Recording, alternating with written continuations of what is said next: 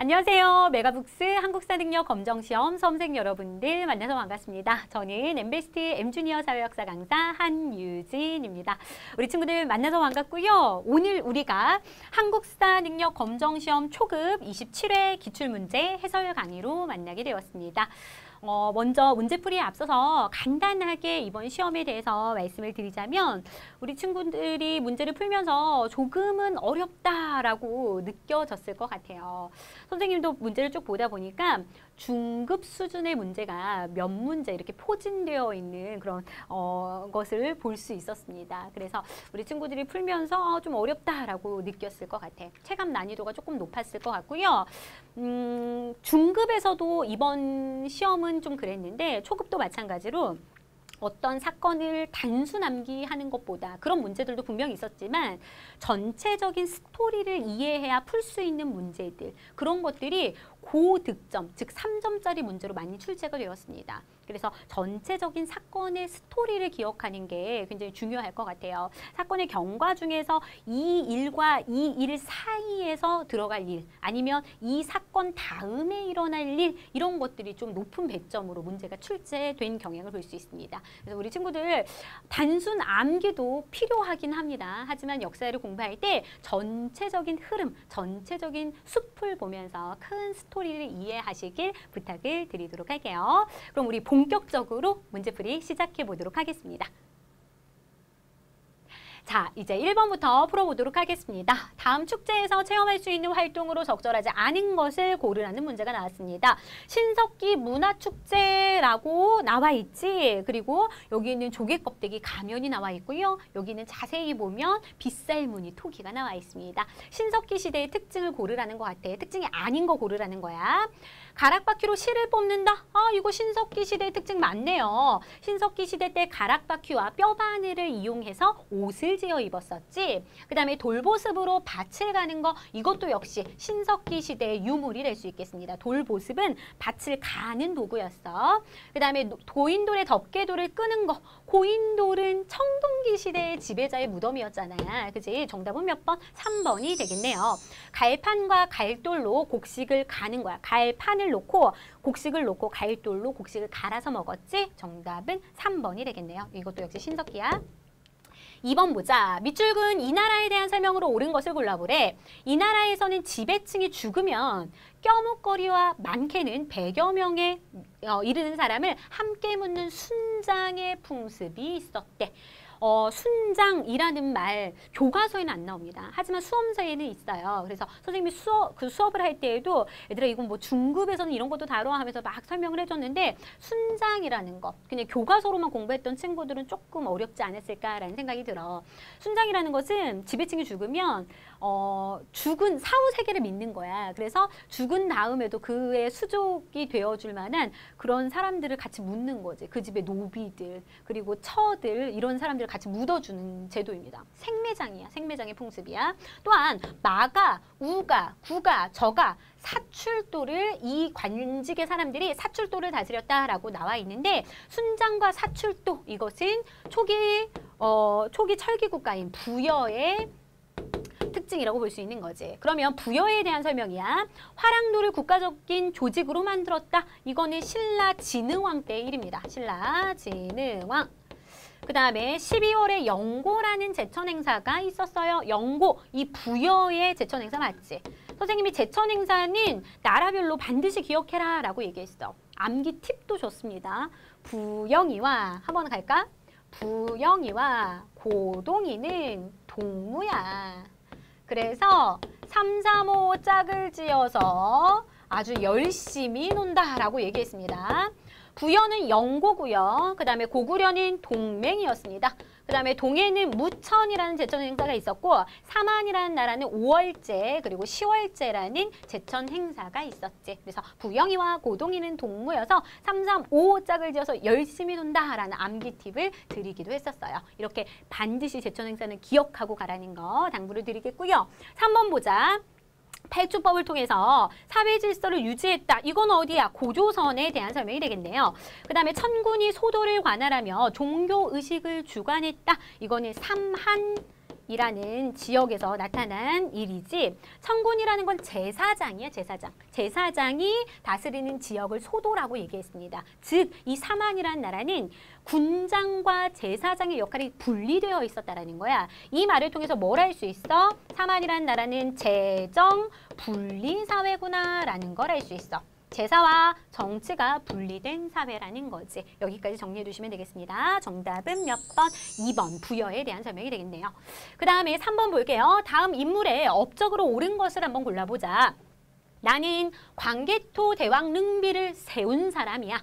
그리고 지도와 같이 한강 이남 지역까지 차지해서 영토를 넓혔대. 아, 굉장히 넓은 영토입니다. 한강 이남까지 차지했고 광개토 대왕비를 세운 사람, 광개토 대왕의 아들 장수왕의 업적을 물어보는 거네요. 장수왕 5세기 때 전성기였지? 고구려 전성기 왕입니다. 한강 이남을 차지하고 세운 비석이 있었어. 뭐였어? 중원 고구려비였지?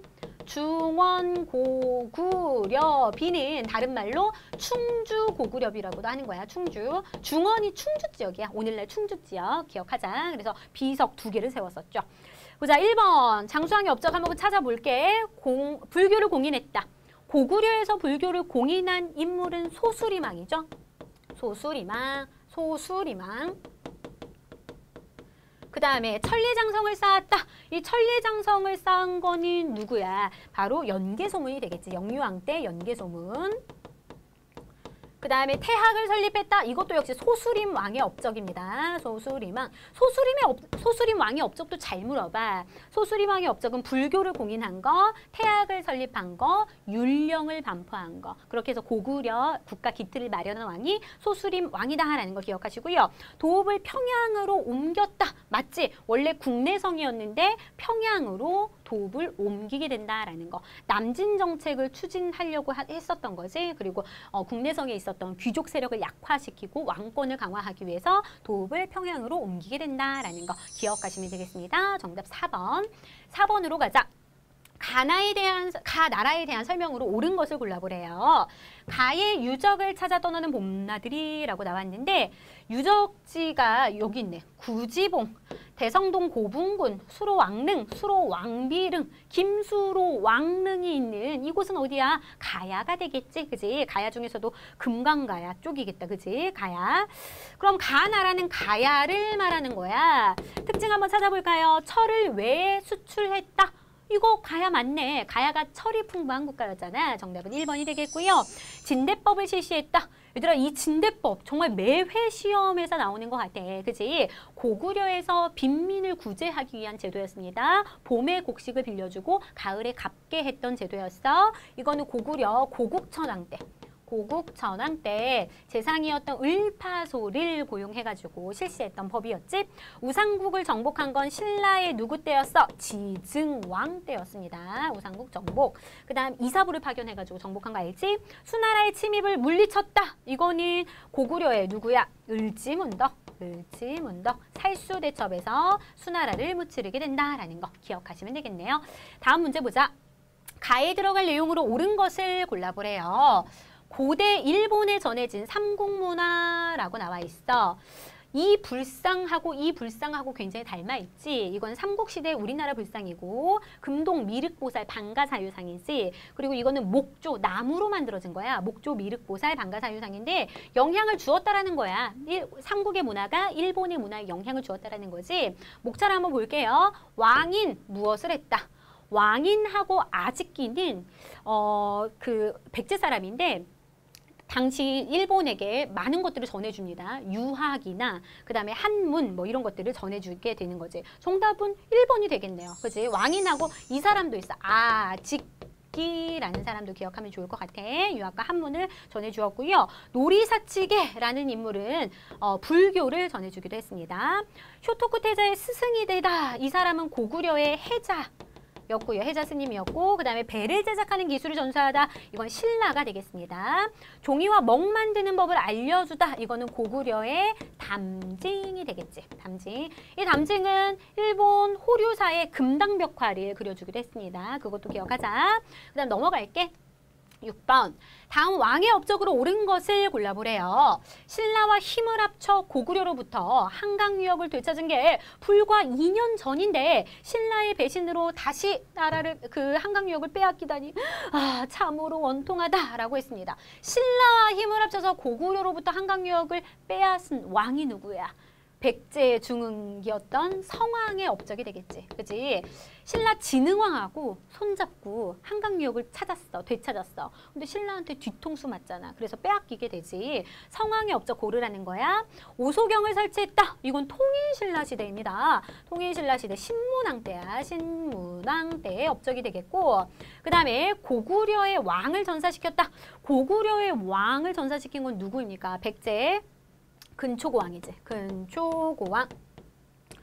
누구를 전사시켰어? 고국원 왕을 전사시켰죠. 고구려의 고국원 왕을 전사시켰습니다. 그 다음 관리의 공복을 제정했다. 이거는 백제의 고이왕 때였습니다. 고이왕 때. 그리고 도읍을 웅진에서 사비로 옮겼다. 이게 바로 백제 성왕의 업적이지. 성왕의 업적하면 크게 크게 두 가지는 반드시 알고 있어야 돼. 나라 이름을 뭐로 했다라는 거. 남부여. 국호를 남부여. 라고 고치고요. 그리고 수도를 웅진에서 어디로 옮겼어? 사비로 옮겼다라는 거. 그렇게 해가지고 백제의 중흥, 부흥을 꾀했던 왕이 성왕이다라는 거 기억하시면 되겠습니다. 그 다음 다음 문제 7번 가국가에 대한 설명으로 옳은 것을 골라보래요. 가의 최치원이라고 나왔는데 최치원이 어느 시대, 어느 나라의 인물이었어? 바로 신라 시대의 인물이었죠. 그러니까 정확하게 말하면 통일신라가 맞겠고 왜 그는 당나라에 가서 빈공과를 보아야 했을까라고 나와 있지. 얘들아 빈공과라는 건 당나라에서 실시했던 과거 시험인데 외국인을 대상으로 한 과거 시험이야. 당나라에서 외국인을 대상으로 치렀던 시험이 빈공과인데 여기에서 합격한 인물이 최치원입니다. 굉장히 똑똑했었죠. 근데 왜 최치원이 당나라로 가서 과거 시험을 봤을까? 우리나라에서 못 보고 당시 이 최치원의 신분은 육두품이었습니다. 육두품. 신라는 골품제도라는 엄격한 신분제도가 있었잖아. 그래서 어, 이 육두품이라는 한계를 뛰어넘지를 못하는 거야. 그래서 당의 빈공과를 보게 된다라는 거 기억하시면 되겠죠? 그럼 보자. 책화라는 풍습이 있었습니다. 책화라는 것은 뭐야? 다른 부족을 침략하면 말이나 소로 배상하는 제도였습니다. 이건 동해의 풍습이 되겠고요. 그 다음에 민며느리제가 성행했다. 어린 며느리를 민며느리라고 해. 그래서 고구려하고 아, 고구려가 대리사위제 서옥제라면 옥저에서 행해졌던 혼인 풍습이 민며느리제다라는 거 기억하세요. 남자하고 여자하고 결혼을 하잖아.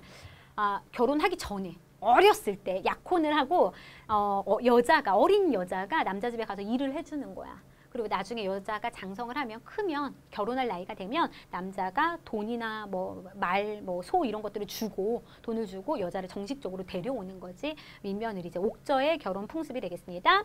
골품제라는 신분제도가 있었다. 아 이거 맞네요. 이거 신라 맞지? 신라에서 통일신라까지 쭉 이어지는 거야. 통신까지. 정답은 3번. 권문세족들이 음서를 통해서 관직에 진출했다. 얘들아 권문세족은 친원파, 그러니까 즉 어, 원간섭기 때 우리나라 고려 시대 원간섭기 고려 원간섭기 때 권력을 장악했던 어, 세력이 권문세족이 되겠습니다. 관섭기 친원파 세력이 대부분이었어. 자, 넘어가자. 밑줄 그은 이 탑으로 옳은 것을 골라보래. 천년의 도읍 경주를 가다라고 나와 있는데요. 나는 신라의 도읍지였던 경주의 문화유산을 살펴보았다. 오늘 본 것 중에 가장 기억이 남는 것은 돌을 벽돌 모양으로 다듬어서 쌓아 올린 이 탑이었대. 이 탑은 현재 남아있는 신라 석탑 중에 가장 오래된 것이라고 한다라고 나와 있습니다. 나는 이 탑을 통해서 신라의 숨결을 느낄 수 있었다라고 하는데 벽돌 모양으로 돌을 다듬어서 만든 이 탑은 바로 분황사 모전석탑이 되겠습니다. 정답은 2번.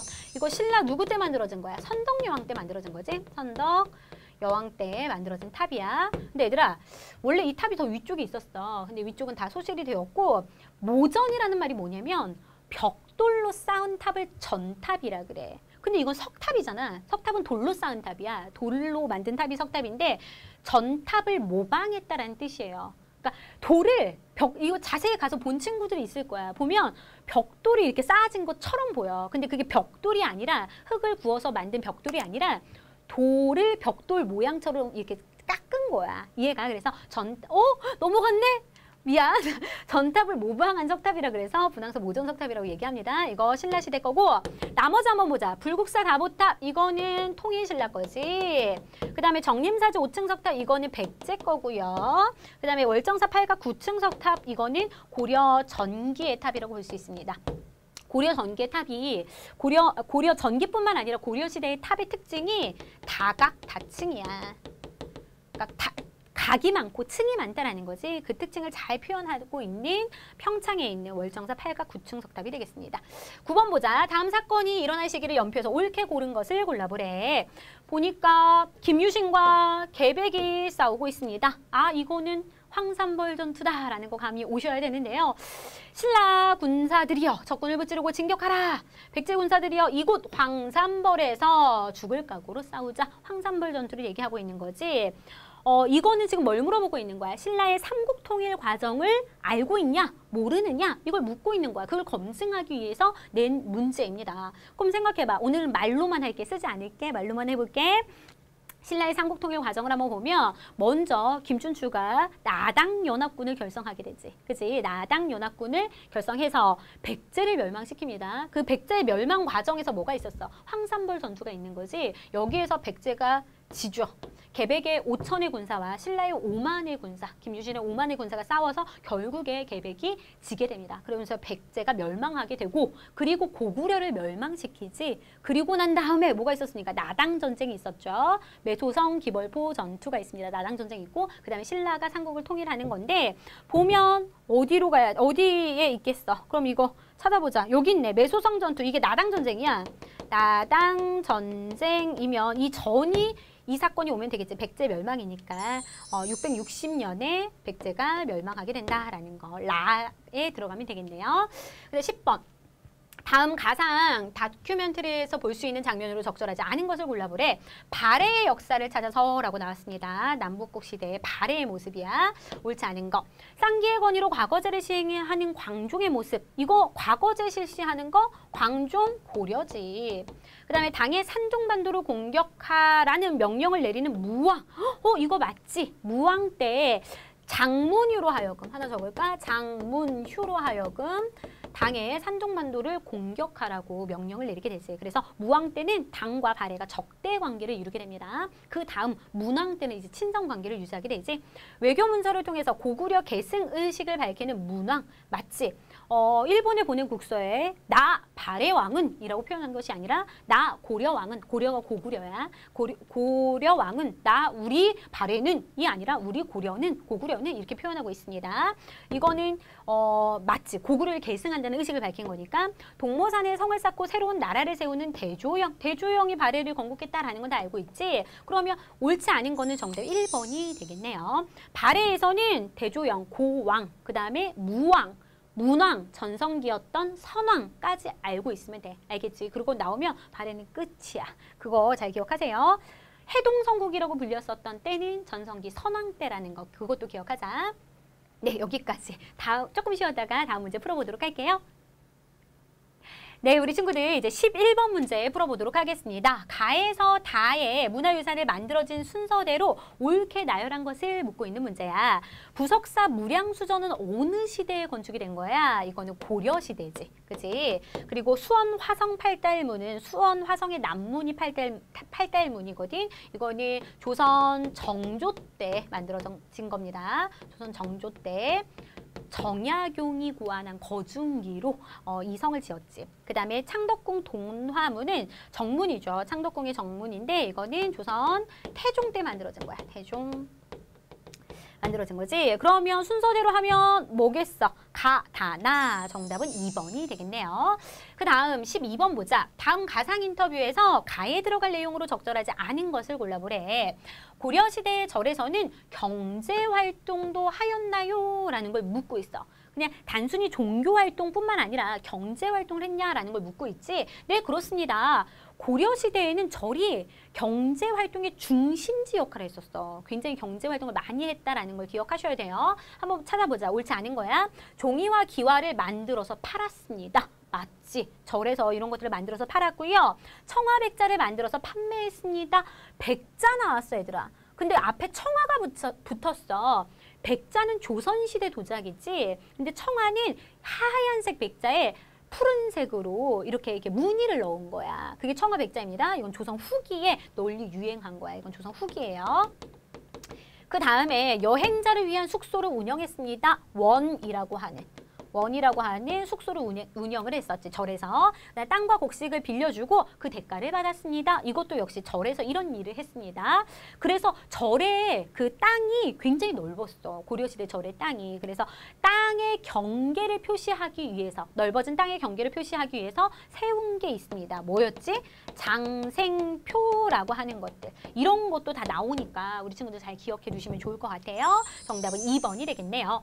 13번 보자. 가에 들어갈 내용으로 옳은 것을 골라보라는 문제가 나왔어. 고려 성종의 업적입니다. 유교 정치 이념을 채택했어. 누구의 건의로? 맞아. 최승로의 건의로. 최승로의 시무 28조의 건의를 받아서 유교를 정치 이념으로 채택했지 이성 육부 제도라는 정치 체제를 채택을 했고요. 국자감이라고 하는 최고 교육 기관을 설립하기로 했습니다. 그거 말고도 성종이 어떤 일을 했는지를 물어보는 문제야. 12목을 설치했다? 아 정답 1번이 되겠네요. 우리 친구들 좀 어려울 수 있는데 12목은 지방의 행정구역을 말하는 거야. 지방에 어, 이것도 역시 최승로의 건의로 설치가 된 거야. 최승로가 왕이시여 청컨대에 지방에 지방관을 파견해서 지방을 잘 통치하라고 건의를 해. 그래서 12목을 지방에 12목을 설치하고 지방관을 목사를 파견하는 거지. 목 목살이 아니라 목사 어, 12목의 목사를 파견하고 지방관을 파견해가지고 지방을 통치했다라는 거 기억하시면 되겠습니다. 별무반을 조직한 건 누구야? 숙종 때 윤관이었지. 그지? 숙종 때 윤관. 그다음 집현전은 조선시대예요. 이건 고려시대 아니야. 조선시대 세종 때였지. 세종. 그 다음에 사군육진 개척한 것도 역시 조선시대 세종의 업적이 되겠습니다. 여진을 정벌하기 위해서 위쪽에 사군과 육진을 개척하게 되죠. 그 다음에 14번 볼게요. 학생들이 이야기하고 있는 지역을 지도에서 옳게 찾은 것을 묻고 있는 문제입니다.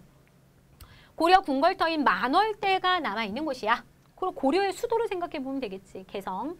그 다음에 정몽주가 살해당했다는 성주교도 있어요. 선주교. 조선시대 송상의 활동 근거지였어. 다 어딜 얘기하고 있는 거야? 개경, 개성을 얘기하고 있습니다. 개경을 얘기하고 있는 거지. 어디입니까? 나가 되겠습니다. 나, 나가 개성이지? 가는 어디야? 평양이야. 다는 전주예요. 그 다음 라는 금성, 경주가 되겠습니다. 됐나? 정답은 몇 번? 2번이 되겠다. 그 다음에 15번 보자. 가에 들어갈 용어로 옳은 것을 골라보래. 옳은 것을. 성리학을 이념으로 하여 고려사회를 개혁하려고 했던 새로운 정치 세력이었어. 새로운 정치 세력. 고려사회를 개혁하려고 한 새로운 정치 세력. 됐지? 그 다음에 조선 건국 중심의 세력이 이 세력이야. 조, 선을 건국했던 중심 세력 누구였습니까? 신진사대부였지? 정답은 4번. 이 신진사대부들이 성리학을 바탕으로 불교가 아니라 성리학을 바탕으로 과거 시험에 또 많이 합격한 사람들이 바로 신진사대부들이었지. 이들이 신흥 무인 세력 즉 이성계와 손을 잡고 조선을 건국하게 된다라는 거 기억하시면 되겠습니다. 선생님이 간단하게 조선의 지배층 한번 쭉 간단하게 쓰고 갈게요. 한번 쭉 따라와봐. 얘들아 통일신라 말부터 지방에서 어떤 세력이 막 성장을 했었어. 호족이었지. 그래서 호족 세력이 고려를 세웠습니다. 누구야? 어, 송악을 근거지로 누가 태조 왕건이지. 태조 왕건도 역시 호족 세력이었어요. 당시 고려 조, 아, 그 고려 초에는 호족들의 세력이 좀 셌다라는 거 기억하고요. 그 다음에 문벌귀족이었지. 문벌귀족. 우리 이자겸 알 거야. 경원 이 씨 가문 이자겸 대표적인 문벌 귀족 가문이었지. 그 다음에 무신정변이 일어나면서 무신들이 집권을 하다가 그 다음에 원간섭기가 찾아옵니다. 그래서 원간섭기에 원에 싸바싸바 친한 세력들이 있었어. 친원파 세력, 권문세족이 있었고요. 권문세족을 비판하면서 신진사대부가 새롭게 떠오르게 됩니다. 신진사대부 이들이 이제 고려에 썩어가는 그런 정치를 개혁하자라고 하면서 새로운 세력으로 등장하게 되는 거지. 그래서 이들이 조선을 건국하는 세력이 된다라는 거까지 쭉 정리해 두시면 되겠어요. 그 다음 넘어갈게요. 16번 보자. 밑줄근 기억에 해당하는 문화유산으로 옳은 것은 어, 왜 이렇게 발음이 안 되지? 옳은 것은 어, 문화유산으로 옳은 것을 골라보래. 금속활자 복원 사업이 추진되다라고 나와 있는데 청주시는 고려시대 금속활자본을 바탕으로 금속활자 복원 작업을 진행 중이래. 이 금속활자본은 청주 흥덕사에서 상학원으로 만들어져서 현재 학원이 프랑스 국립도서관에 보관이 되어 있대. 뭐에 관한 얘기야? 바로 직지 심체 요절을 얘기하고 있는 거지. 청주 흥덕사에서 간행이 되었습니다. 지금 학원이 프랑스 국립도서관에 있지. 찾아보자 몇 번? 정답은 3번이 되겠고요. 얘들아 직지 심체 요절 나오면 뭐는 반드시 꿰고 있어야 돼. 아 이거는 세계에서 가장 오래된 금속 활자본이다 라는 게 머릿속에 있어야 돼. 하지만 앞에 뭐가 붙어야 돼? 현존하는이 붙어야 돼. 현존하지 않는 걸로 지금 존재하지 않는 걸로 가장 오래된 것은 그것도 우리나라야. 상정고금 예문이라고 있어. 근데 그건 지금 전에 내려지지가 않아. 근데 현존하는 것 중에 가장 오래된 금속 활자본인 직지심체 요절이고요. 유네스코 세계 기록유산으로 지정이 되어 있습니다. 나머지 한번 설명해 볼게. 칠정사는 뭐야? 세종 때, 조선 세종 때 만들어진 역법서야. 역서, 역법서라고 얘기하는데 그러니까 역법이라는 게 뭐냐면 날짜, 절기, 시간 이런 것들을 세는 거 그런 게 바로 역법서예요. 근데 원래 우리나라는 중국 거 그대로 따랐었거든. 근데 중국하고 우리나라는 당연히 오차가 있을 수밖에 없지. 시간 이런 것들을 정할 때. 그래서 우리나라 한양을 기준으로 만든 역법서 그게 바로 칠정산이다라는 거 기억하시고요. 왕호천축국전은 누가 썼습니까? 통일신라 시대 때 해초 통일신라 시대 때 해초라는 스님이 어디 다녀오고 당나라가 아니라 인도를 순례하고 돌아와서 쓴 책이 왕 오천축국전이야. 당시 왕, 갈왕, 오천축국. 당시 인도가 다섯 개의 나라로 나뉘어졌었거든. 그래서 갔다 와서 쓴 책이고 어, 무구정광 대다란이경은 이거하고 구분해, 얘들아. 이거는 가장 오래된, 세계에서 가장 오래된 목판 인쇄물이야. 이거는 금속 활자로 만든 거잖아. 근데 이거는 목판 인쇄물이 무구정관 대다란이 경우입니다. 알겠지? 그거 구분하시고요. 또 하나는 이게 어디서 발견되었는지 잘 나와. 이거 어디서 발견되었어? 불국사 3층 석탑을 수리하는 과정에서 여기에서 발견이 되었다는 거 중요해요. 석가탑, 니네가 알고 있는 석가탑, 불국사 3층 석탑 같은 말이죠. 그치? 그거 어, 보수하는 과정에서 탑신부에서 발견이 되었습니다. 정답은 3번. 17번 보자. 가에 들어갈 내용으로 옳지 않은 것을 골라보래. 몽골과 강화를 맺은 후 고려에서는 어떤 일이 일어났나요? 몽골과 강화? 뭐야? 우리나라 몽골의 침략이 있었지. 그리고 몽골하고 광, 강화를 맺어 화해 약속을 맺었다라는 거야. 그 다음에 이제 우리나라는 원의 간섭기로 들어가게 되는 거야. 원의 간접 지배를 받게 되지. 그럼 뭘 물어보는 거야? 원간섭기를 물어보는 거야. 원간섭기. 그럼 이때 어떤 일이 있었냐? 옳지 않은 거. 매를 잡아서 매 이거 이거 새 새야. 근데 사냥할 때 이 매를 보내가지고 이 사냥감을 이렇게 막 이렇게 포획하게 해, 아니 뭐라고 해야 돼? 먼저 알려주거든. 그래서 매를 잡아서 훈련시켜서 보내는 응방이 설치되었어. 그러니까 몽골에게 이 매를 바치는 거야. 그래서 이 매를 훈련하고 사육하고 또 키우고 매를 키우고 하는 그런 응방이라는 기관을 설치했다라는 거지. 원간섭기에. 그거 말고도 또 뭐 있었냐? 변발이 유행했어요. 이거 맞네. 황비용 머리 여기 쭉 밀고 뒤에서부터 이렇게 낫는 머리 있잖아. 그치? 변발. 몽골 풍이에요. 몽골의 풍습이야. 공녀를 바쳐야 됐어요. 여자를 바쳐야 됐어. 그래서 우리나라는 여자 안 바치려고 어떤 풍습이 일어나게 되냐면 그 만들어지게 되냐면 일찍 결혼을 시켜버리는 거야. 공녀로 끌려가지 않기 위해서 결혼한 여자는 안 보내니까. 그래서 일찍 결혼하는 조혼 풍습이 생기게 돼. 조혼. 일찍 결혼하는. 그 다음에 동북 구성이 축조되어서 애들아 동북 구성은 이거 누구 때야? 여진 정벌한 다음이었잖아. 몽골 그 원간 섭기는 13세기예요. 근데 여진을 정벌하는 거 이거는 12세기지. 그지? 여진을 정벌한 다음에 윤관이 동북 쪽에 아홉 개의 성을 쌓게 된 거지. 그지? 근데 그거 나중에 여진에게 반환하게 됩니다. 정동행성이 설치되었어요. 이것도 맞습니다. 원래는 이 정동행성이 몽골이 일본을 원정하려고 일본 원정을 단행하기 위해서 고려에 설치했던 기구야. 근데 일본 원정이 두 차례나 실패하게 되자 없애야 되는데 그냥 안, 안 없애고 놔두는 거지. 어디를 간섭하는 기구? 고려를 간섭하는, 고려의 내정을 간섭하는 기구로 남겨두었다라는 거 기억하시면 되겠습니다. 정답은 몇 번? 3번이 되겠네요. 18번, 가에 들어갈 사건으로 옳은 것을 골라보래. 이런 문제들이 조금 우리 친구들이 어렵게 느껴졌을 수 있을 것 같고 배점이 굉장히 높은 문제였습니다. 이런 식의 문제가 앞으로도 잘 출제가 될 거야. 사건의 전반적인 스토리 흐름을 아는지 모르는지. 가에 들어갈 사건이야. 보면 여기 무신정변이 나왔습니다. 아, 무신정변. 그리고 여기는 뭐야? 삼별초의 항쟁이 나왔습니다. 무신정변과 삼별초의 항쟁 사이에 들어갈 사건. 생각해봐. 무신정변으로 무신들이 집권하게 돼. 맞지? 그리고 삼별초의 항쟁은 몽골이 침략이 있었을 때야. 맞죠? 근데 몽골 침략에 끝까지 맞서 싸우려고 했던 삼별초였잖아. 근데 항쟁이 실패로 끝나면서 이후에는 뭐가 생겨? 원간섭기로 들어서게 되는 거야. 이 이후에는. 그럼 이 사이는 뭐야? 무신들이 정변을 일으켰으니까 무신 집권기가 되었다라는 게 나와줘야지. 그지? 그럼 가는 무신 집권기를 물어보는 거야. 알겠죠? 그럼 찾아보자. 무신집권기에 일어난 사건 만족의 난 정답이 나왔네요. 정답은 1번이야. 만족의 난.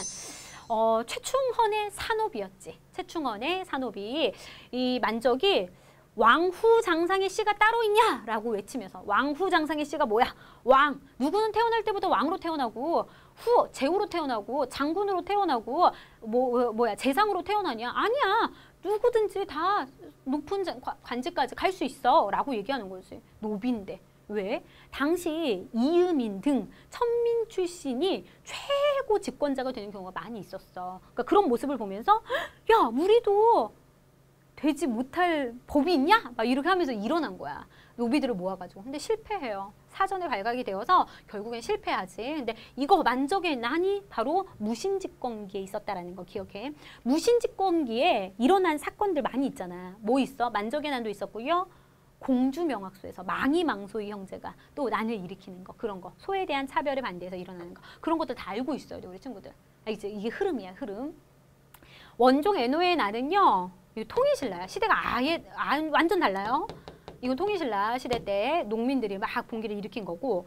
그 다음에 이성계의 위화도 회군은 이거는 고려 말이지 고려 말에 이성계가 위화도에서 회군을 해가지고 정치적인 실권, 군사적인 실권을 장악하게 되지. 그래서 이성계가 조선을 건국하게 되는 거고요. 묘청의 서경천도 운동은 고려 전기라고 볼 수 있겠습니다. 그러니까 아예 무신정변 이전이야. 이건 이전. 이건 아예 이후. 알겠지? 이건 아예 이후. 이건 통일신라 시대고요. 정답은 1번이 되겠습니다. 19번 보자. 다음에서 설명하는 민속놀이로 옳은 것을 골라보래. 이순신 장군이 임진왜란 당시에 적에게 우리 군사가 많은 것처럼 보이게 하기 위해서 여자들에게 남자 옷을 입히고 앞에 불을 피우고 여기를 돌게 했습니다. 거기에서부터 전래되었다는 그런 유래가 있는데 어, 이 민속놀이 뭐야? 손을 잡고 불을 피우고 막 도는 거. 강강설레 하면서 노는 거지. 어, 정답은 몇 번? 강강술래 2번이 되겠고요. 민속놀이 문제, 세시풍속 문제 한 문제씩 잘 출제가 돼. 그러니까 잘 기억해 두시고요. 이거는 추석에 많이 했던 놀이고 널뛰기는 단호. 그 다음에 뭐 설날 때도 많이 하고 명절 때 많이 하죠. 설날이나 추석 때 많이 하는 거고 그 다음에 그네뛰기는 언제 하니? 그네뛰기 단오. 그 다음에 노다리 밟기 이거는 정월 대보름. 정월 대보름에 많이 이루어진 민속놀이다라는 거 정리해 두시면 되겠습니다. 20번 보자. 밑줄근 이 인물로 옳은 것을 골라보래. 이곳은 이 인물이 태어날 때 별이 떨어진 곳이다. 이걸 그대로 해석하면 되지. 그치? 아 여기 나와 있구나. 낙성대. 별성, 떨어질 낙, 별이 떨어진 곳, 낙성대라고 불리는 곳이래. 근데 이 인물이 누구냐라는 거야. 그는 귀주에서 거란군을 크게 무찔렀습니다. 귀주대첩 하면 딱 떠오르는 인물 강감찬. 거란의 3차 침입 때 맞서서 싸운 어, 대표적인 사람이죠. 강감찬. 서인은 거란의 1차 침입 때야 강동육주를 획득했다라는 거 기억하시고요. 용과는 여진과 관련이 있습니다. 을지문덕은 수나라가 우리나라에 쳐들어왔을 때야. 그지? 그래서 살수대첩에서 크게 무찌른 인물이 을지문덕이 되겠죠. 이어서 다음 문제 풀어볼게요. 자, 이제 21번 문제 같이 풀어보도록 하겠습니다. 다음 학습 주제에 대한 발표 내용으로 옳지 않은 것을 고르라는 문제인데요. 조선시대 중인에 관한 문제가 나왔습니다. 조선시대 중인. 조선시대 신분제도가 머릿속에 있어야 돼. 가장 위에 양반, 그 다음에 중인, 그 다음에 상민, 천민으로 나뉘어져 있었지. 그지? 그럼 중인은 양반과 상민 사이에 있는 계급이었어. 그럼 중인에는 어떤 사람들이 있었습니까? 주로 양반의 자제인데 그냥 자제가 아니라 첩의 자식들. 서얼이라고 하지. 그지? 서얼이나 아니면 의관. 오늘날 전문직을 떠올려 보면 돼. 의사들, 변호사들, 뭐 판사들 이런 사람들이 다 이 시기에는 중인 신분이었어요. 그래서 의관이나 아니면 법률을 하는 그런 뭐 어떤 사람들이 있어? 율관 율관. 그다음에 통역하는 사람들. 이런 사람들이 다 중인에 해당하는 거지. 옳지 않은 거 한번 찾아보자. 아, 아픈 사람들을 치료하는 의관이 있었습니다. 맞습니다. 외국에서 사신이 왔을 때 통역하는 역관이 있습니다. 맞습니다. 도화서에서 그림을 그리는 화원이 있습니다. 중인 신분 맞지요? 가축을 잡아서 어, 고기를 파는 백정이 있습니다. 얘들아 백정은 무슨 신분이었어? 천민 신분이었지. 천민 신분. 정답은 몇 번? 4번 이 되겠네요. 주로 이 중인 신부는 세습이 만일이었어. 아버지가 역관이면 자식도 역관인 경우가 많았습니다. 세습이 만일이었다라는 거 기억하시고요. 다음 문제 보자. 다음 시조를 지은 인물이 실시한 제도로 옳은 것을 골라보래. 이방원이 쓴 시조입니다. 이런들 어떠하며 저런들 어떠하리 만수상 드렁치기 얽혀진들 어떠하리 우리도 이같이 얽혀서 백년까지 누리리라 라고 누구한테 보낸 시야 바로 정몽주에게 보낸 하여가지 고려의 충신이었던 정몽주를 회유하기 위해서 야 너 이 왕조 섬기면 어떻고 저 왕조 섬기면 어때? 우리 손잡고 백년까지 한번 누려보자 라고 시를 보냈었지. 근데 정몽주한테 단신가가 오게 되지. 이 몸이 죽고 죽어. 니네 알잖아. 일백번 고쳐 죽어. 넋이라도 있고 없고. 임양한 일편단심이야. 뭐 백골이 진토되어 빼먹었네. 임양한 일, 편단심이야. 가실 줄이 있으니까 말 하는 거 있잖아. 나는 고려 충신으로 남겠다라는 거지. 그래서 결국에 이 정몽주를 선주교에서 죽이게 되지. 보면 이방원, 태종, 조선 3대 왕입니다. 태종 이방원의 업적을 물어보는 거야. 호패법 실시했다. 어 이거 맞네요. 호패법이 뭐야? 16세 이상의 남자에게 지급했던 신분, 신분 증명패입니다. 오늘날로 말하면 주민등록증과 같은 거야. 그래서 어, 인구의 동태를 파악하고 세금을 거두고 군역을 부과하는 그런 기준으로 삼았다라는 거 기억하시고요. 대동법을 실시했던 왕, 처음으로 실시했던 왕은 광해군이야. 하지만 광해군이 대동법을 경기도 지역에서만 실시하거든. 근데 이게 우리 친구들 좀 어려울 수 있어요. 중급에 가면 좀 자세히 배우는데 원래 특산물을 내는 거야. 특산물을 세금으로 내는데 특산물을 내는 과정에서 중간 관리들이 하도 많이 그러니까 삥땅 쉽게 말하면 삥땅을 치는 거지 중간에서 이제 세금 수타 이루어지는 거지 자기 주머니로 쏙쏙 들어가는 거지 그래서 현물이 아니라 특산물로 내는 게 아니라 세금을 토지를 기준으로 쌀, 포, 돈으로 내자라는 제도가 대동법이야. 근데 토지를 기준으로 세금을 부과하니까 땅을 가진 양반들이 굉장히 반대가 심했어요. 양반 지주들은 싫은 거야. 왜? 세금 많이 내야 되니까. 그래서 양반 지주들의 반대에 부딪혀서 대동법이 전국적으로 시행되는 데는 100년의 시간이 걸린다는 것도 기억해 두시면 될 것 같아요. 중급에서는 좀 자세히 알고 있어야 돼. 초급은 그냥 그렇다라는 정도만 기억하고 균역법은 영조 때 실시된 거지. 원래 군포를 몇 필씩 거두는데 두 필, 1년에 두 필씩 거두는데 군대 안 가는 대신에 내는 포야. 근데 1년에 한 필로 줄여준 법이 균역법이지. 노비안건법은 고려시대, 이건 다 조선인데 고려 누구 때야? 광종 때 실시가 된 겁니다. 불법적으로 호족들이 그 일반 백성들을 노비로 삼고 일반 백성의 토지를 막 가지고 했었을 때 노비들을 풀어주는 거야. 불법적으로 호족의 노비가 된 그런 양인들을 풀어주는 제도였지, 그지? 아니지, 양인들을 풀어주는 게 아니지. 노비들을 양인으로 어, 풀어주는 제도였지. 원래 신분이 양인이었던 노비를 그렇게 해주는 거야. 이건 광종 때, 고려 광종의 업적이 되겠습니다. 23번 가에 들어갈 내용으로 옳은 것을 골라보래. 근정전이 나왔어. 경복궁을 대표하는 건물인데요. 이 근정전의 뜻이 이거야. 나란 일을 부지런히 하라라는 뜻이 담겨져 있습니다. 정치를 부지런히 한다라는 뜻이야. 이곳은 세자가 공부하는 곳이었어. 아니지. 세자가 공부하는 곳은 동궁이었고요. 왕이 쉬고 잠을 자는 곳은 강령, 강령전이었습니다. 발음이 안 돼. 왕실의 우더른들이 생활하는 곳은 성종 때그 그 위에 그 왕비들을 대접하기 위해서 모시기 위해서 창경궁을 지었어요. 창경궁. 성종 때 지어진 거고 그 다음에 국가의 중요 의식을 거행되는 거 이거 이게 바로 근정전 맞습니다. 정답은 4번. 그 다음에 24번 다음 내용에 대한 사건으로 어, 옳은 것을 골라보래. 서북지방에 대한 차별을 없애라 라고 나왔습니다. 이 서북지방이라는 건 지도에서 간단히 보면 서북이니까 어디겠니? 서쪽에서 북쪽 이쪽이야. 맞지? 평안도야, 평안도. 평안도 쪽을 얘기하는 거야.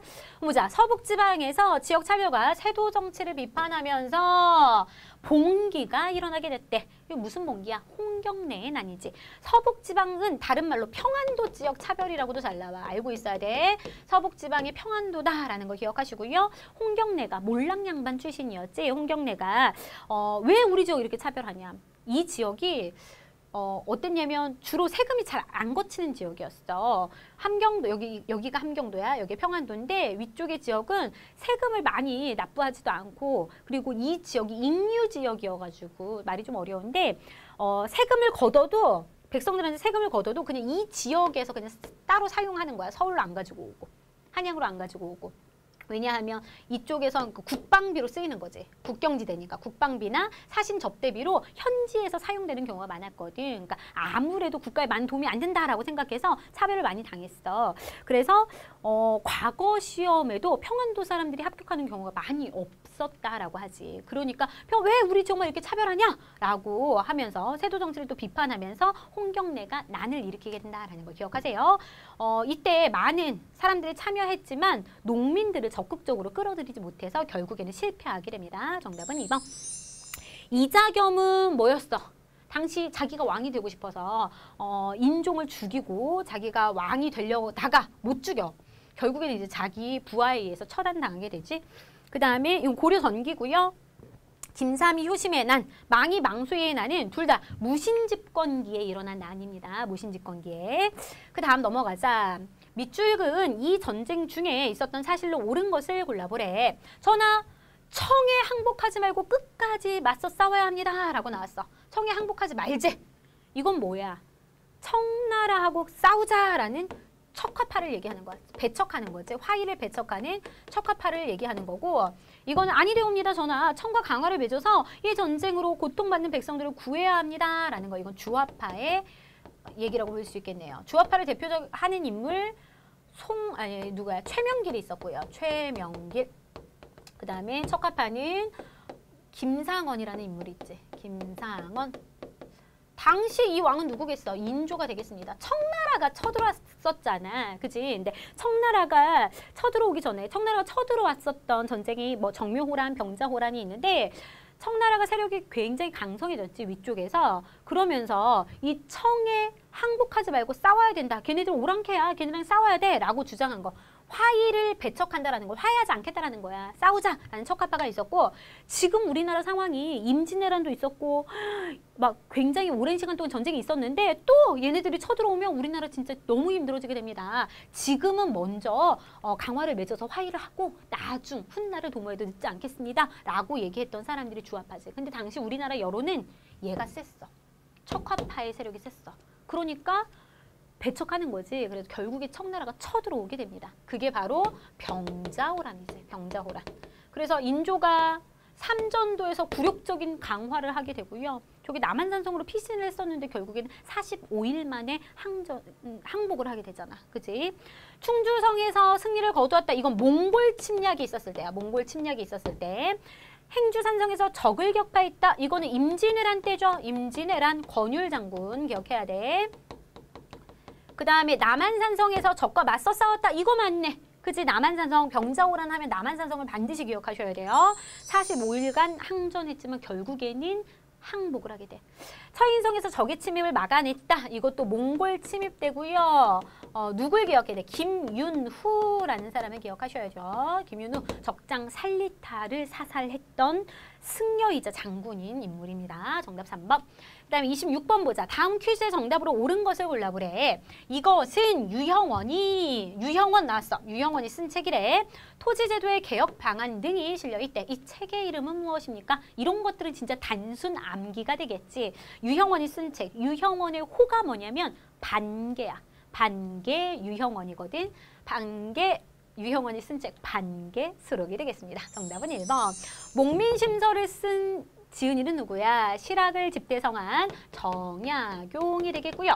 그 다음에 열아일기 누가 써서 박 지원이 되겠습니다. 청나라 열화를 다녀온 다음에 쓴 책이야. 성호사설 이익이죠. 이익이 쓴 책. 이거는 단순 암기로라도 이건 좀 외워놓으셔야 돼요. 실학자들이 쓴 저서들.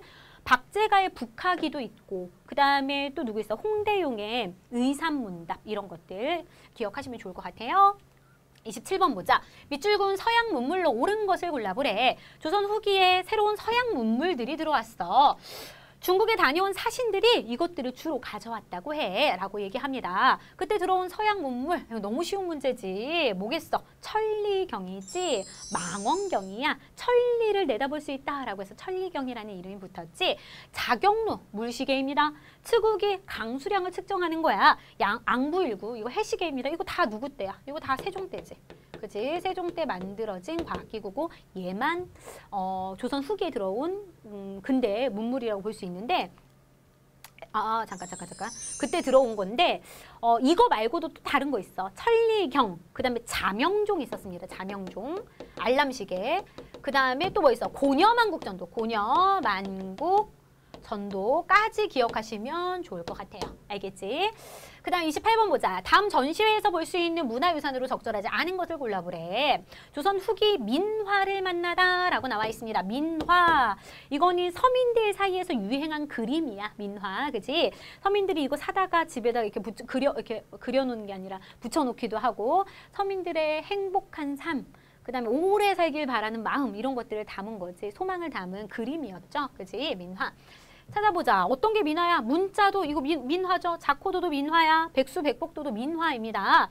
몽유도원도 이거는 조선 전기 안견이 그린 그림이지 안평대군 즉 어, 세종의 아들이었지. 안평대군이 꿈속에서 본 거를 그린 거야. 안견이라는 사람이 그린 거야. 되겠지? 꿈속에 본 그림이란 뜻이죠. 몽유도원도. 정답은 4번이고요. 그 다음에 29번 가에 들어갈 인물로 옳은 것을 골라보래. 이달의 역사 인물로 임진왜란 당시 의령에서 의병을 일으켰고요. 홍희 장군이라고 불렸던 누가 선정이 되었대? 홍희 장군 나오면 딱 나와줘야지. 붉은 옷을 입고 싸운 의병장 바로 곽재우 장군이 되겠습니다. 정답은 2번이고요. 조헌, 고경명, 서산 대사도 역시 다 임진왜란 때 활약한 의병이라는 거 기억해 두세요. 30번 보자. 타임머신을 타고 도착한 시기의 경제 모습으로 적절한 것을 찾아보래.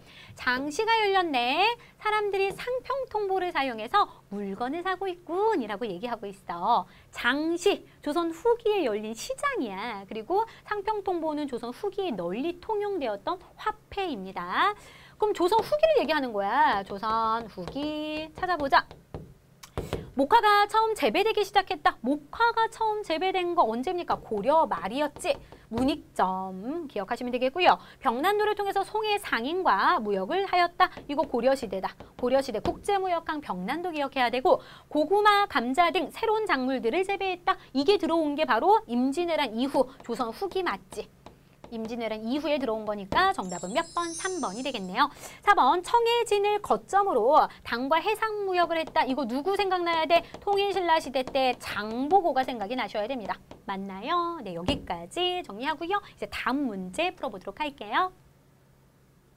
자, 이제 31번 문제 보도록 하겠습니다. 가 조약이 맺어진 결과로 옳은 것을 골라보래. 운요 사건을 계기로 이곳에서 조선은 일본과 땡땡땡 조약을 맺었대. 운요 사건이 원인이 되어서 체결된 조약 뭐야? 강화도 조약을 말하는 거지. 강화도 조약. 가능 강화도 조약을 얘기하는 겁니다. 연무당 예터라고 나왔는데 이 연무당이라는 곳이 어, 일본하고 조선 사이에서 강화도 조약이 체결된 장소입니다. 그럼 한번 찾아보자. 일본군이 조선에 주둔하게 되는 결과를 가져오게 된다. 이거 좀 어려울 수 있어요, 우리 친구들. 이런 것들이 좀 중급 수준의 문제야. 일본군이 조선에 주둔하게 된 거는 무슨 때였냐면 이모군란 있지, 이모군란. 이모군란 이후에 재물포 조약을 체결하게 되거든. 재물포 조약을 체결하면서 일본군이 이제 우리나라 서울에 주둔하게 되는 결과를 가져오게 됩니다. 그러니까 이모군란이 그거였잖아. 어, 90군데가 신식 군대의 차별, 신식 군대와의 차별에 불만을 가지고 난을 일으킨 거지. 그러면서 일본 공사관을 방화시키고 일본 교관을 살해하고 이랬었거든. 그러니까 "헉, 일본이 우리 무서워서 살 수가 없다. 일본 군이 우리를 지켜줘야 돼라고 하면서 일본 군들이 들어오게 되는 거야. 기억하시고요. 조선이 외교권을 박탈당하였다. 이거는 을사조약을 얘기하는 거지. 을사조약. 을사조약 1905년입니다. 이거는 1905년이야. 그 다음에 일본이 에, 조선이 일본에 배상금을 지불하였다. 우리가 조선이 일본에게 배상금을 지불한 경우가 많이 있어요. 이때 이모, 이모군란 이후에도 그랬고 이모군란 이모군란 때도 그랬고 갑신정변 때도 갑신정변 때 한성조약을 체결하면서 일본에게 또 많은 배상금을 지불하게 되지. 갑신정변 그 다음에 조선이 부산을 포함한 세 개의 항구를 개항하게 된다. 강화도 조약의 내용이 그거였잖아. 부산, 원산, 인천. 그지? 세 개의 항구를 개항하라라는 조건이었고 그 다음에 치외법권, 해안 측량권, 그 다음에 조선을 자주국으로 규정하는 내용들 그런 내용들이 강화도 조약의 내용이었지. 잘 정리해두세요. 강화도 조약의 성격 잘 알고 있어야 돼. 의. 뭐였어? 최초의 근대적 조약이지만 불평등한 조약이었다라는 거. 치외법권과 해안 측량권이 불평등 조약에 해당한다라는 거 기억하시면 되겠습니다. 넘어가자. 가에 들어갈 내용으로 적절하지 않은 것을 골라보래요. 개항 후에 조선 정부가 추진하고 있는 개화 정책은 무엇입니까? 조선 정부의 개화 정책을 묻고 있습니다. 정부는 땡땡땡을 추진하고 있습니다. 장용령을 설치했다. 얘들아 장용령은 이것도 초급에는 잘 안 나오거든. 이거 이 중급에 나오는 거예요. 초등 교과서는 장용령이라는 용어가 안 나와요. 근데 수험서에는 많이 나와 있어. 선생님이 이번 문제를 보면서 선생님이 그 강의를 할 때 초급 강의를 할 때 애들한테 애들아 이건 중급에서 나오는 건데 하면서 첨부적인 설명을 되게 많이 해줬거든. 근데 그런 것들이 굉장히 많은 도움이 되었겠다라는 생각을 했었어. 이런 장용령은 정조 때 설치한 국왕 친위 부대야. 국왕을 보위하는 친위 부대야. 친위 부대. 우리 친구들도 딱 그 수준으로만 공부하지 마시고 그냥 딱 초급 수준으로 공부하지 마시고 조금 더 깊이 있게 공부하면 더 많은 도움이 될 것 같아. 별기군을 창설했다라고 나왔습니다. 아, 이 별기군 신식 군대예요. 개화 정책의 일환이었습니다. 맞아요. 네, 영선사를 파견했습니다. 청나라에 파견한 사절단이야. 청나라 가서 무기 만드는 거, 제도 이런 거 보고 오라고 시킨 거지. 맞아요. 그 다음에 기기창을 설립했다. 영선사가 와서 무기 만드는 거 보고 와서 세운 근대적인 무기를 만드는 그런 기관이 기기창이 되겠습니다. 정답은 몇 번? 1번이 해당하는 설명이 아닌 거야. 그 다음에 33번 볼게요. 다음 개혁에 대한 설명으로 옳은 것을 묻고 있는데 개혁을 알리노라. 신분제를 폐지한다. 신분제 폐지 나오면 딱 기억해야지. 뭐야? 가보개혁입니다. 가보게요. 1894년이지. 1894년. 근대적인 개혁이었어. 정치, 경제, 뭐 사회 파트에서 두루두루 근대적인 국가로 가기 위한 개혁이었습니다. 도량, 도량형을 통일한다. 그러니까 여러 치수나 단위 이런 것들, 이런 것들을 통일한다라는 거고 조혼, 아까 얘기했지? 원간섭기 때 그 몽골의 공료로 받쳐지는 것을 어, 뭐 하려고 그거를 안 하게끔 하려고 어, 일찍 결혼하는 풍습이 있었다라 그랬잖아. 그런 풍습을 금지하는 거. 그, 이 모든 것들이 다 된 게 가보개혁 때다라는 거 기억하시고요.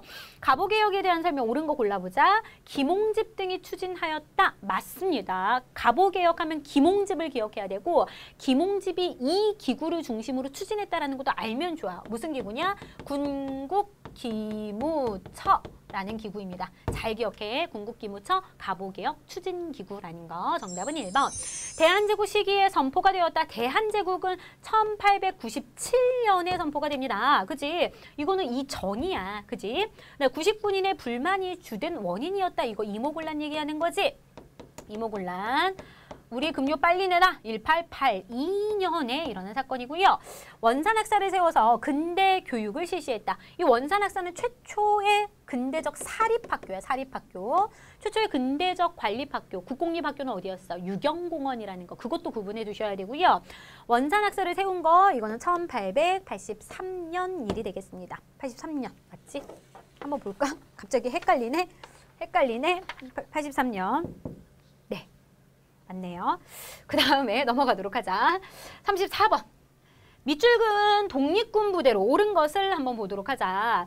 이 문제도 우리 친구들 좀 어려웠을 거야. 왜냐하면 답은 딱 정해져 있는데 보기가 좀 어려웠어. 아 이게 뭐야 이거 안 배운 것 같은데 라는 그런 생각이 들었을 거야. 근데 몰라도 됩니다. 초급에서는 이것만 알면 돼. 오늘 답이 한국 광복군이야. 근데 이것만 알면 돼. 초급에서는. 독립군 부대인데 대한민국 임시정부의 군대를 찾으라는 거였어. 대한민국 임시정부가 상하이에서 수립이 되었는데 이게 쭉쭉쭉쭉 거쳐가지고 충칭 지역까지 이동하게 됩니다. 그러니까 임시정부가 이렇게 어, 이동을 한 거야. 그래서 충칭에 가서 하, 대한민국 임시정부의 군대, 산하 군대를 만들게 된 거거든. 그래서 1940년에 만든 대한민국 임시정부의 군대가 한국광복군이라는 거 이거 잘 기억하고 계셔야 돼요. 대한민국 임시정부는 1919년에 만들어진 거지. 그지? 이 한국 한국 광복군은 우리나라 독립을 위해서 국내 진입 작전을 실시하려고 그랬어. 그러니까 국내로 들어와 가지고 일본군 애들 막 다 타도하고 어, 우리나라가 광복을 이루려고 했단 말이야. 스스로 이제 독립을 이루려고 했는데 일본이 원자탄이 떨어지면서 항복을 하게 되면서 국내 진입 작전이 시도가 되지 못해요. 근데 그런 작전을 계획하고 있었다라는 걸 기억하시면 되겠습니다. 이 군대들은 1930년대에 만들어진 군대들이야. 주로 이 두 개의 군대는 중국하고 연합 작전을 해가지고 중국에서 어, 우리나라 독립을 위해 위해서 싸웠던 군대고요. 이것도 역시 중국에서 만들어진 군대가 되겠습니다. 우리 친구들이 기억해야 될 건, 초급에서 기억해야 될 건 한국 광복군이야. 그거 기억하자. 35번 가자. 가에 들어갈 기관으로 옳은 것을 골라보래. 이것도 역시 근현대사 파트가 조금 어려웠어. 어, 우리 친구들 이것도 중급 수준의 문제입니다. 왜냐면 의열단에 누구누구 누가 있는지 모르잖아. 그지? 초급에서는 그거 안 나오거든. 사진 근데 나왔어. 그지 그러니까 조금 깊이 있게 공부하셔요. 사진 속에 땡땡땡은 식민지배 정책을 실행하던 기관이야. 이거 딱 보고 이게 뭐다라고 감잡을 수 있는 친구는 공부가 좀 많이 된 친구지 이거는 동양척식 주식회사야 동양초식 주식회사 이거는 1908년에 만들어진 회사입니다. 일본 회사야. 일본 회사. 우리나라에 만들어진 일본 회사인데 여기에 폭탄을 던진 나석주 의사를 기리기 위해서 건물터에 동상을 세웠습니다. 라고 나왔습니다. 이 나석주란 인물은 의열단에서 활약했던 인물이야. 이 의열단은 항일 무장단체야. 무장을 해가지고 일본에 저항하는 그런 무장 독립 운동 단체예요. 그래서 어, 나석주를 비롯한 김상옥, 김익상 이런 사람들이 있는데 이런 사람들이 일제 그 식민지를 대표하는 그런 건물들에 뭘 던져 폭탄을 던진 거야. 그래서 조선 총독부에 폭탄을 던진 김익상이 있고 그 다음에 김상옥은 조, 종로 경찰서에 폭탄을 던지고 나석주는 동양척식 주식회사에 폭탄을 던지게 되는데 왜 동양척식 주식회사에 폭탄을 던졌냐. 이 회사가 1908년에 세워졌는데 1910년대 토지조사 사업이 이루어지게 됩니다. 우리 친구들 그건 알 거야. 그지? 토지조사 사업이 이루어지는데 일본이 토지조사 사업을 실시해서 우리나라 전 국토의 40%를 일본이 몰수하게 돼. 우리 땅을 빼앗아. 그리고 이걸 동양척식 주식회사에 넘겨. 이 회사가 우리나라 토지를 일본인들한테 헐값에 파는 거야.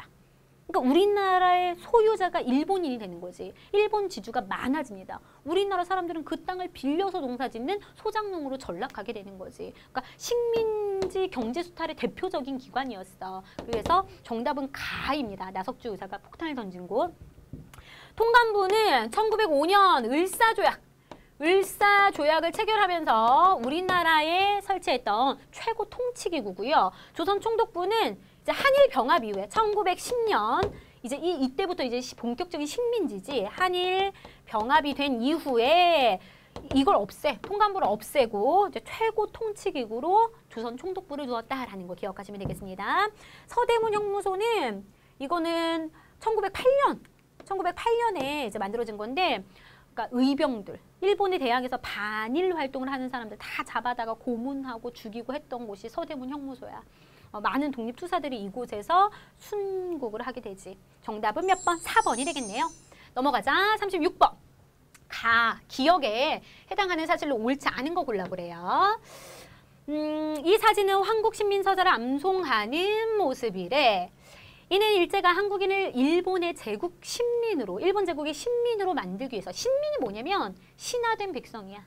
일본 제국의 신화된 백성으로 만들기 위해서 어, 일제가 실시한 일제 강점기 말의 식민 지배 정책이었습니다. 일제 강점기를 세 분야로 나뉘어서 세 파트로 나뉘어서 기억하라 그랬어. 10년대, 20년대, 30년대 후반의 통치 정책이 있었어. 뭐였어? 10년대 통치 정책 뭐였습니까? 어, 무단 통치였지. 그 다음에 문화 통치인데 민족 분열 통치여서 20년대, 30년대 민족 말살 통치였습니다. 그거 물어보고 있는 거야. 민족 말살 통치. 어, 이거는 1930년대 이후에서부터 실시가 된 거지. 아예 우리 민족을 말살시키려고 하는 거야. 그래서 니네 언어 쓰지 마. 한국어 쓰지 마. 한국 역사 공부하지 마. 국사 우리 국사 영, 공부 못하게 하고 창씨 개명 이런 것들 실시하게 하지. 상식개명이 뭐야? 이름 같은 거 다 일본인 이름으로 바꾸게 하는 거야. 그래서 우리의 성과 이름을 일본식으로 다 개명을 하게끔 했지. 뭐 야마모토, 미츠코 이렇게 바꾸라고 하는 거지. 어, 이런 일들이 거행, 그 자행되게 됩니다. 이거 한국, 한국 신민서사는 뭐냐면 우리는 황국의 식민이다라는 것을 계속 암송하게끔 하는 거야. 그래서 어렸을 때부터 세뇌를 시키는 거지. 그래서 우리는 뭐 대일본 제국 천황폐하께 충성을 다합니다. 우리는 황국의 식민된 자로서 막 이렇게 쭉쭉쭉 읊어 나가는 거야. 그래서 아, 암송을 강요했고 세뇌시켰다라는 거까지 기억하면 되겠네요. 창씨 개명 맞습니다. 고종을 강제로 퇴위시켰다. 어, 이건 옛날에 배운 것 같은데, 그치? 이건 1907년이야. 일제강점기 전이지. 왜 고종을 강제로 퇴위시켰어? 헤이그 특사 파견 때문에. 헤이그 특사 파견을 구실로 강제로 고종 황제를 퇴위시키게 되지. 한국 역사 대신에 일본 역사를 가르쳤다. 맞지? 한국 역사 못하게 하는 거야. 그 다음에 학교에서 한국어 대신 일본어를 사용하게끔 강요시켰다. 맞습니다. 정답은 몇 번? 2번이 틀렸네요. 37번 보자. 다음과 같은 결과를 가져온 사건으로 옳은 것을 골라보래. 1987년입니다. 1987년 대통령을 국민의 손으로 직접 뽑아야 한다는 국민적인 요구에 따라 국민이 직접 대통령을 선출하는 선거가 실시되게 되었습니다. 얘들아, 이, 이, 이걸 뭐라고 하냐면 대통령 직선제라 그래. 대통령 직선제. 그 전까지는 대통령을 국회의원들이 뽑았어. 그러니까 물론 이제 바뀝니다. 국민들이 뽑을 때도 있었어. 근데 이제 주로 이제 국회의원들이 선출을 했거든. 근데 어땠니? 부정과 부패와 독재가 남, 만무했지, 그치? 그래가지고 어 그래서 어떻게 했냐면 대통령을 국민들이 직접 뽑을 수 있게끔 헌법을 바꿔라 라고 요구했어. 누구 때? 전두환 대통령 때. 전두환 대통령 때 1987년이 전두환 대통령 때야. 그때 이제 국민들이 이런 요구를 한 거야. 근데 정부에서는 아니 그냥 기존의 헌법 그대로 가지고 갈 건데 라고 하면서 4.13 호헌 조치를 발표하게 됩니다. 4.13 호헌 조치를 발표하게 돼. 호헌이 뭐냐면 헌법을 그대로 지키겠다라는 거야. 그러니까 6월 민주항쟁이 일어나게 돼. 그러니까 4월이고 이게 6월이야. 1987년. 응?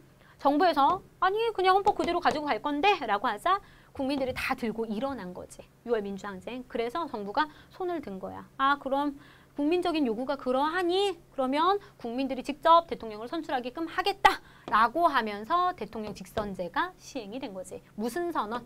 6.29 민주화 선언으로 당시 여당의 대통령 후보였던 노태우가 이거를 뭐 하게 돼? 발표하게 되지. 그지? 그래서 그때부터 이제 국민 손으로 대통령을 뽑을 수 있게 되었습니다. 정답 몇 번이야? 2번을 얘기하는 거지. 4.19 혁명은 이승만 정권의 3.15 부정선거 때문에 일어난 혁명이고요. 10월 유신은 박정희 때였습니다. 이건 이승만, 이거는 박정희. 어, 10월 유신이라는 것은 유신이 헌법을 새롭게 한다라는 거야. 그래서 헌법을 새롭게 바꿔. 근데 어떤 식으로 바꾸게 되냐면 대통령의 권한을 아주 무지막지하게 확대를 시키는 거야. 그래서 국회의원들 3분의 1을 대통령이 임명하고 법관도 대통령이 임명하고 그리고 그들이 나를 뽑는 거야. 그 국회의원들이 또 나를 뽑는 거고 이런 식으로 굉장히 비정상적으로 대통령의 권한을 강화시켰던 그런 헌법 체제가 10월 유신 체제였습니다. 이거에 대해서 반대한 운동들 많이 일어났지. 음, 부마 항쟁 대표적이고요. 삼성개헌 반대 운동. 이것도 삼성개헌도 박정희 때 일어난 거야. 박정희 대통령도 장기 집권을 했었지. 총 18년 동안 집권을 하게 되는데 삼선 계속해서 대통령이 하고 싶으니까 대통령이 3, 3번 동안 연임할 수 있다라는 그런 헌법을 또 바꾸려고 해. 그러니까 그거에 또 반대해서 국민들이 또 일어나게 된 거고. 근데 이것도 역시 통과가 돼. 어, 반대 영표. 반대 영표. 뭔지 알겠어? 이것도 막 비밀리에 막 통과가 됩니다. 어, 정답은 2번이 되겠고요. 38번 보자. 당 가상 뉴스의 회의 내용으로 적절한 것을 찾아보자. 1945년 12월 모스크바에서 미국, 영국, 소련의 외무장관이 모여서 한국 문제를 협의해서 결정을 했대. 모스크바에서 미영소 외무장관이 모였대. 뭐야? 모스크바 삼국 외상회의를 얘기하는 거야. 써줄까? 모스크바 삼국 외상회의. 이 모스크바 삼국 외상회의에서 결정된 내용이 세 가지가 있습니다. 세 가지는 뭐냐? 첫 번째로는 니네 나라가 독립은 했지만 아직 이 한국이라는 나라가 아직 어, 자립하기는 굉장히 미진하다. 아직 좀 안 돼. 불안전하다 라고 해가지고 어, 어떻게 하냐면 미, 소, 영, 중 4개국에 의해서 대신 통치를 받는 신탁 통치를 결정하게 되지. 최대 5년간 시, 신탁 통치 결정이 내려지고요. 그 다음에 한반도에 임시정부를 수립하자. 임시정부를 수립하자. 그리고 이 임시정부를 수립하는 문제를 논의하기 위해서 미소 공동위원회를 개최하자. 라는 내용들이 결정이 돼. 여기서 결정이 돼. 그러면 이 내용이 있는지를 한번 찾으면 되겠다. 그지? 유엔군 파견을 결정했다. 얘들아 유엔군은 언제 파견돼? 6.25 전쟁 때였지?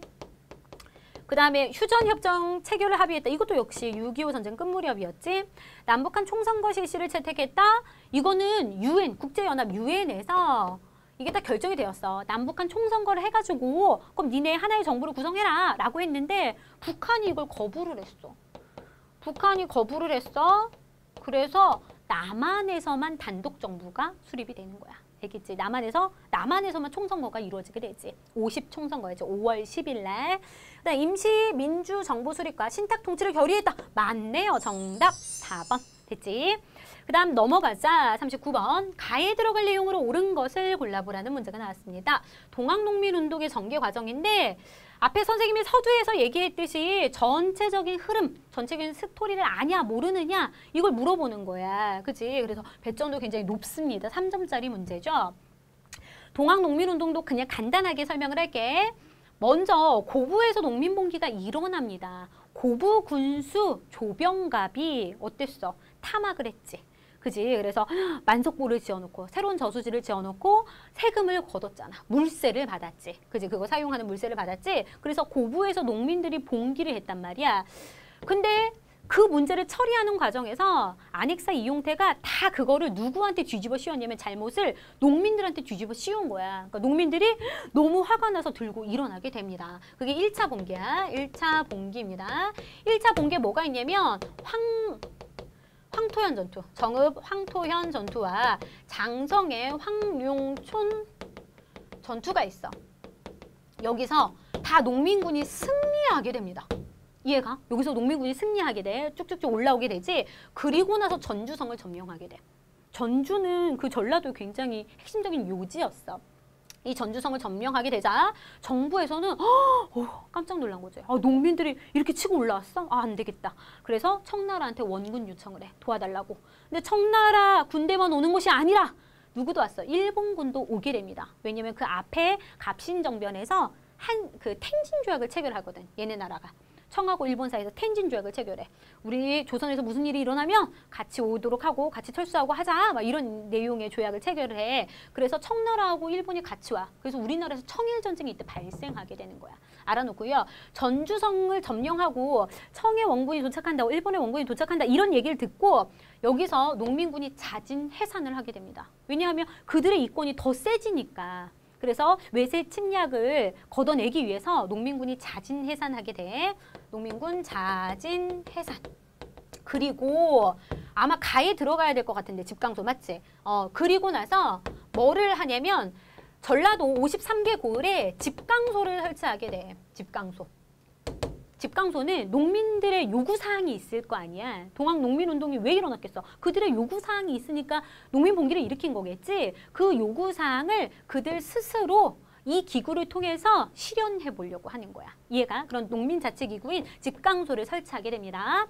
그런데 아, 일본이 청일 전쟁에서 이제 좀 승기를 잡은 좀 영향력이 셌던 일본이 경복궁을 점령하게 되는 거야. 그래서 일본군을 타도하기 위해서 2차 봉기가 일어나게 됩니다. 농민들이. 이번에는 누구를 무찌르기 위해서 일본군을 몰아내기 위해서 2차 봉기를 일으킨 거야. 그런데 일본군한테 어느 전투에서 패하게 돼. 공주 우금치 전투에서 농민군이 패하면서 이 동학 농민운동이 끝나게 된다라는 걸 기억하시면 되겠어요. 이 전체적인 스토리를 기억해야 돼. 알겠지? 1차 봉기 때에는 반봉건적인 성격이었어. 그지? 고부군수 그 조병갑의 타막 때문이었으니까. 그래서 봉건, 약습 그러니까 구습, 악습에 반대한다는 성격이었다면 2차 때에는 반외세적인 성격인 거야. 일본에 반대한다. 외세에 반대한다. 알겠지? 그러면 가에 들어갈 건 뭐야? 집강소, 농민자치기구였던 집강소 설치가 들어가면 되겠습니다. 좀 어려운 문제였어요. 어, 연통제 실시는 뭐였습니까? 연통제. 연통제는 대한민국 임시정부가 국내하고 취했던 비밀 연락망을 연통제라고 얘기하고 독립협회는 서재피를 주도로 해서 어, 만들어진 단체지. 그지? 그래서 어, 결성이 되었고요. 1890, 1800... 어, 오늘 왜 이러지? 연도가 생각이 안 나요. 1896년이야. 이때. 그 다음에 결정이 되었고 삼정이정청은 삼정의 문란 시기에 그러니까 니네 홍경래의 난, 그 다음에 진주농민봉기 이런 거 배웠을 거야. 진주농민봉기가 전국적으로 퍼지면서 임술농민봉기가 된다라고 얘기했는데 임술년에 농민봉기가 전국적으로 일어나게 되거든. 그때 그 삼정의 문란을 바로잡기 위해서 삼정 이정청이라는 기구를 정부에서 설치하게 돼. 근데 별 효과를 못 거두게 됩니다. 정답은 2번. 동학농민운동하고 관련 있는 거 2번이야. 마지막 문제네요. 밑줄 그은 이 섬에 대한 설명으로 옳은 것을 고르라는 문제입니다. 이 섬은 우리나라 동쪽 끝에 있고요. 세종실록 지리지에 이 섬에 대한 내용이 기록되어 있습니다. 뭐야? 독도를 물어보는 문제이지. 우산국에서 보면 울릉도에서 보면 여기가 보인다라는 거야. 독도가 보인다라는 내용이 적혀져 있죠. 보자. 영국이 점령하였다가 철수하였다. 영국이 점령한 거는 거문도가 되겠습니다. 러시아의 남하를 견제하기 위해서 거문도를 불법적으로 점령한 사건이 있었어. 그다음 몽골과 항쟁한 역사가 있는 곳이다. 몽골과 항쟁했던 건 강화도. 삼별초의 항쟁을 기억하면 되겠지. 진도, 제주도 이런 섬이었고요. 그 다음에 양원수 부대가 프랑스군과 전투를 벌였던 장소는 강화도죠. 강화도에 있는 정족산성이었습니다. 정족산성. 그 다음에 안용복이 일본에 가서 우리 영토임을 확인하였다. 안용복 나왔습니다. 그러면 독도 관련 인물이라는 거 우리 친구들 알 거야. 어부였지. 근데 일본에 가서 두 차례나 가서 일본에 가서 우리나라 영토임을 확인하고 돌아온 인물입니다. 숙종 때야, 숙종 때. 기억해 두시면 될 것 같아요. 하나만 더 하면 이 독도를 언제부터 일본이 자기네 땅이라고 우기고 있는 걸까? 러일 전쟁 중이야. 러일 전쟁 중에 이건 1904년, 1904년, 5년까지인데 이 러일 전쟁 중에 일본 시마네현으로 편입을 시켜가지고 자기네 영토라고 우기고 있지만 독도는 명백히 역사적으로도 지리적으로도 국제법적으로도 우리 영토다라는 거 우리 친구들 반드시 기억해 두시길 바랄게요. 네, 여기까지 모든 문제를 풀어봤습니다. 네, 우리 친구들 여기까지 27회 문제를 모두 풀어봤고요. 선생님이 엠베스트와 엠주니어에서 이 기출외정 교재를 가지고 한능건 강의를 하고 있는데요. 선생님이 이번에도 보니까 교재의 문제와 이번 시험이 많이 적중하는 적중률을 보였습니다. 우리 친구들도 기출외정 교재를 가지고 열심히 공부한다면 다음 시험에서도 좋은 결과 있지 않을까라는 생각이 되어지고요. 공부하다가 조금 어려운 친구들은 여기 와서 강의를 들어봐도 좋을 것 같아. 알겠지? 어, 선생님은 다음 28회 기출 해설 강의로 우리 친구들 찾아뵙도록 하겠습니다. 수고 많으셨고요. 지금까지 엠베스트 엠주니어 사회역사 강사 한유진이었습니다. 감사합니다.